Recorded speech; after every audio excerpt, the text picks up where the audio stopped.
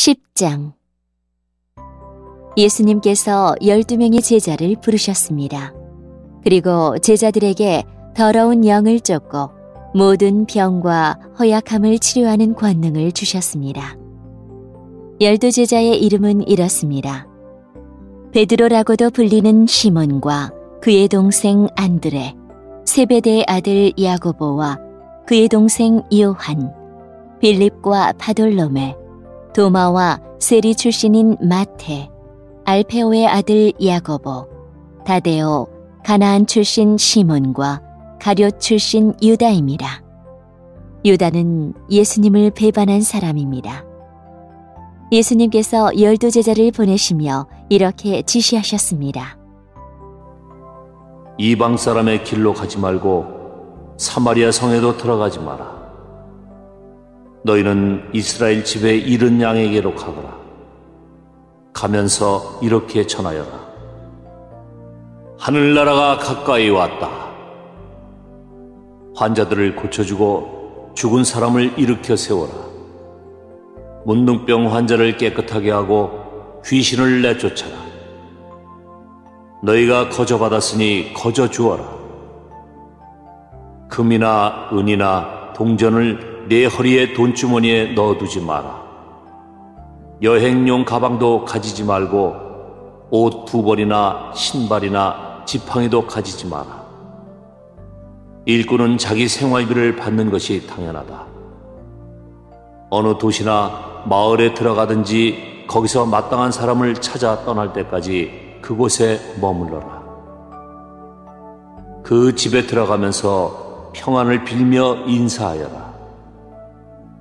만일 그 집이 평안을 받을 만하면 너희가 빌어준 평안이 거기에 머물게 하고 평안을 받을 만하지 않다면 다시 그 평안이 너희에게 돌아갈 것이다.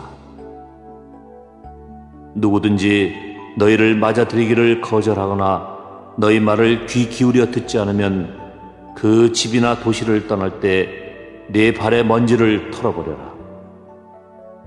내가 너희에게 진정으로 말한다.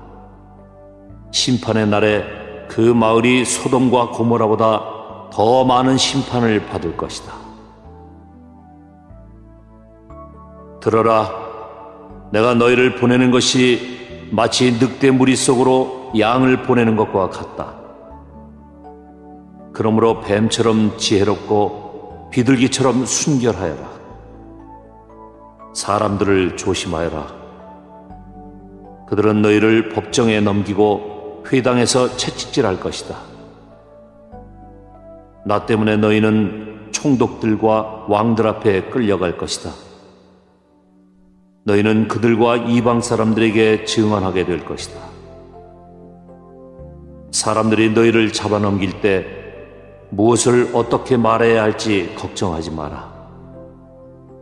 그때 너희가 말해야 할 것을 다 알려주실 것이다. 말하는 이는 너희가 아니다. 너희 아버지의 영이 너희 속에서 말씀하시는 것이다. 형제가 형제를 배신하여 죽게 하고 아버지 또한 자녀를 그렇게 할 것이다. 자녀가 부모를 대적하여 죽게 할 것이다. 내 이름 때문에 너희가 미움을 받을 것이다. 그러나 끝까지 견디는 사람은 구원을 얻을 것이다. 이 마을에서 너희를 핍박하면 다른 마을로 피하여라. 내가 진정으로 너희에게 말한다. 너희가 이스라엘 모든 마을을 다 다니기 전에 인자가 올 것이다. 제자가 스승보다 높지 않고 종이 주인보다 높지 않다. 제자가 스승만큼 되고 종이 주인과 같이 된다면 더 바랄 것이 없다. 그들이 집주인을 바알 세불이라고 불렀으니 그 가족들을 부를 때에는 얼마나 심한 말로 부르겠느냐. 그러므로 사람들을 두려워하지 마라.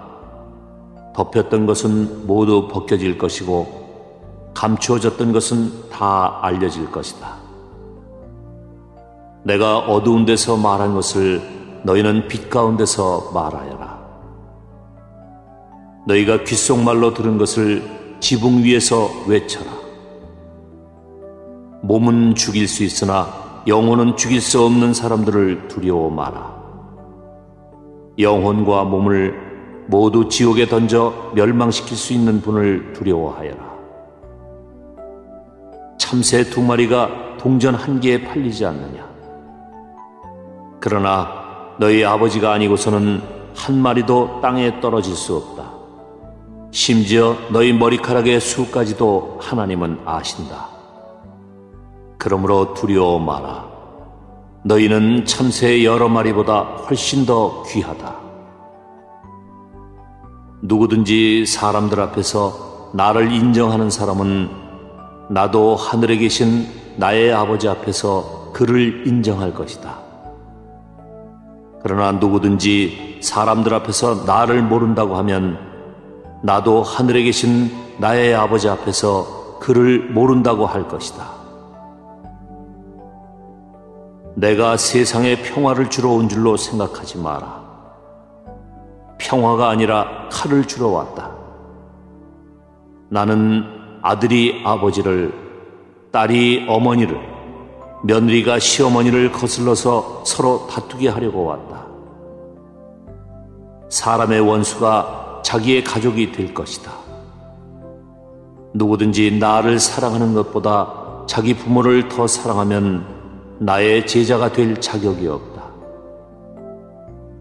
누구든지 나를 사랑하는 것보다 자기 아들과 딸을 더 사랑하면 나의 제자가 될 자격이 없다.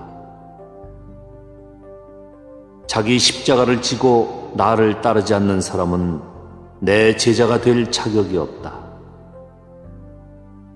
자기의 목숨을 찾으려고 하는 사람은 잃게 될 것이며 나를 위하여 자기 목숨을 버리는 사람은 얻게 될 것이다. 너희를 맞아들이는 사람은 나를 맞아들이는 것이다. 나를 맞아들이는 사람은 나를 보내신 분을 맞아들이는 것이다. 예언자의 이름으로 예언자를 맞아들이는 사람은 예언자의 상을 받을 것이다.